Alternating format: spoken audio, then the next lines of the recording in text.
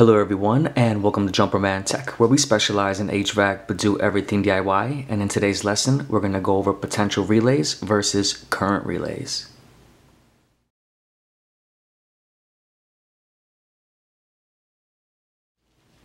Thank you to everyone tuning in to Jumperman Tech. In today's lesson, we're going to be going over the key differences between potential relays versus current relays.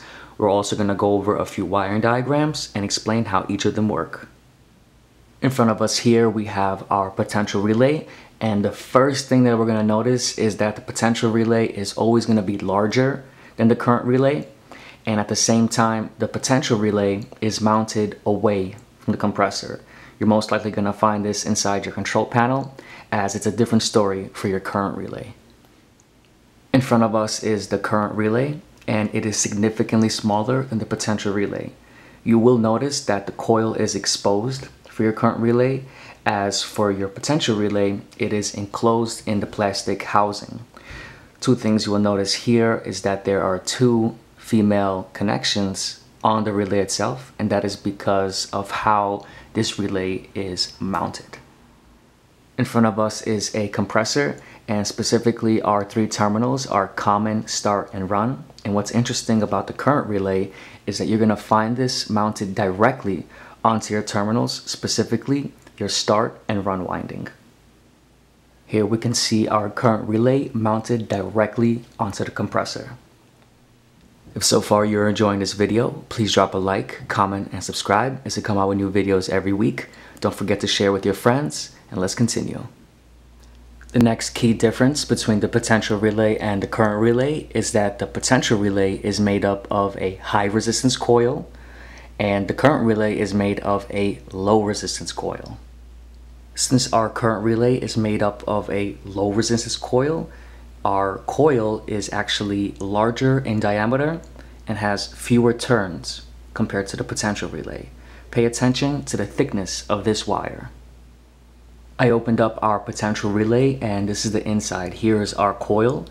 Since we have a high resistance coil, you can see the copper strands are much thinner. They're smaller and there are many more turns. So for the potential relay, we have a high resistance coil smaller diameter with more turns compared to your current relay which is a low resistance coil which has a larger diameter and fewer turns. Here's a side-by-side -side comparison of the two coils. As you can see, it is quite a difference. I did make a separate video on each of these relays, and if you're interested in further detail in each of these relays, I will leave a video link in this video's description on each of them. The next biggest difference between the two is that our potential relay has normally closed contacts and our current relay has normally open contacts. These work completely different from each other and they are quite different than your standard general purpose relay. Next, we're going to go over two diagrams. Here we have a wiring diagram for our potential relay and the next one is going to be for our current relay. Let's go over how this works. So in between our dotted lines is our potential relay. We have three points on our relay, five, two, and one. It also has a nickname of a 521 relay. The only thing that's not labeled here is this point right here, which is gonna be our five terminal. Here's our two and here's our one. Between five and two, we have our coil, specifically our high resistance coil. And then between two and one, we have our normally closed contacts. Let's go over what we have here. Here's line one, line two. Power is gonna come in. We have a set of normally open contacts here, and this is labeled as cycling control. This can be our thermostat. So once this calls for cooling, these contacts will close and allow power to pass through the next thing we're going to go through is our overload. This is a thermal overload. So if our compressor overheats, this will open and kill the distribution of power to our compressor to save it. As power passes by, power is going to distribute. So it's going to go through this way. Well, it's going to distribute, of course, but it's going to pass through here and it's going to energize our relay coil. So power is going to come in, distribute, go through our relay coil. And since we have a normally closed set of contacts, you know, this is going to continue to pass through. So power is going to go through the run winding, start winding, make its way out and basically distribute everywhere. What's going to happen is that our compressor is going to start up, the amps are going to go up, and once the motor reaches a certain speed, we're going to have something known as back EMF or counter EMF. EMF stands for electromotive force. And due to this, what's going to happen is that these contacts are actually going to open. And what that does is essentially take the start capacitor out of our circuit as it already did its job and started our compressor. So pretty much power goes through the coil and it completes the circuit. It goes through our run winding, our start winding. And once the motor reaches up to speed, that back EMF is gonna open these contacts and we're pretty much just gonna run off the start winding. So I'm gonna go like this and that's it. We have a running compressor. Just a second heads up regarding back EMF and other terms and a more detailed video on the potential relay along with the current relay. I did make videos on them separately and those videos will be in this video's description.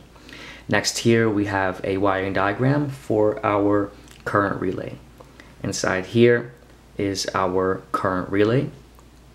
This is going to be our coil and of course we have our normally open contacts opposed to our potential relay which had the normally closed contacts. So let's just go over what we have here. Here we have line one, here we have line two. So power will come in and then we have a few terminals here on our current relay. L, which is our line, and that is where power is always going to enter from.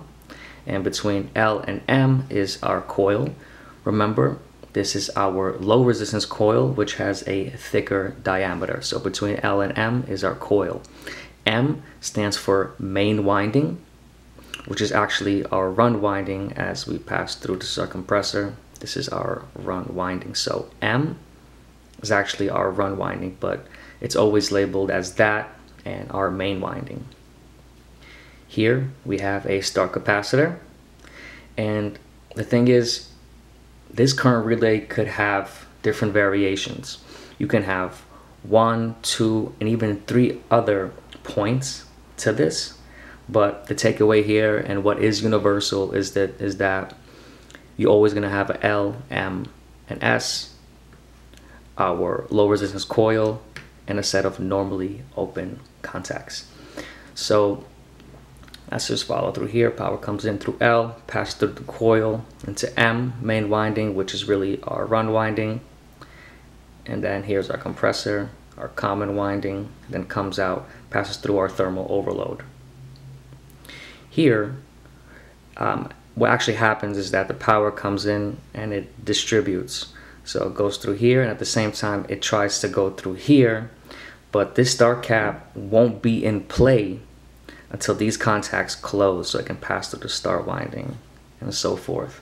So let's go over how this operates. So power comes in through L1 and it goes try to distribute. As far as this, this will stop right here. So power is going to come in, go into L, pass through our coil, and then into our main winding, which is our run winding. So the electricity is going to pass through our winding and into our common winding, pass through our overload and out. And what's going to happen here is we're going to have something called locked rotor. And this is going to be a very large increase in current, in amperage. So what's going to happen is that due to this large increase, we're going to create a magnetic field across this coil. And with that magnetic field, these contacts will close. So now as this is passing through here, now that these contacts closed, our start capacitor is in the circuit, passes through the start winding and completes the circuit. So now we have power being distributed through the compressor.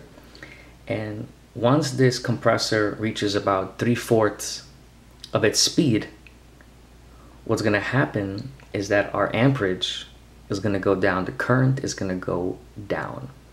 And when the current goes down, we're not going to have enough of an electric field to keep these contacts closed. So this opens and takes our start cap out of the circuit and essentially our start winding.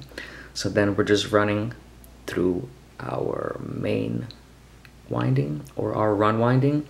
And there you go. You have a running compressor.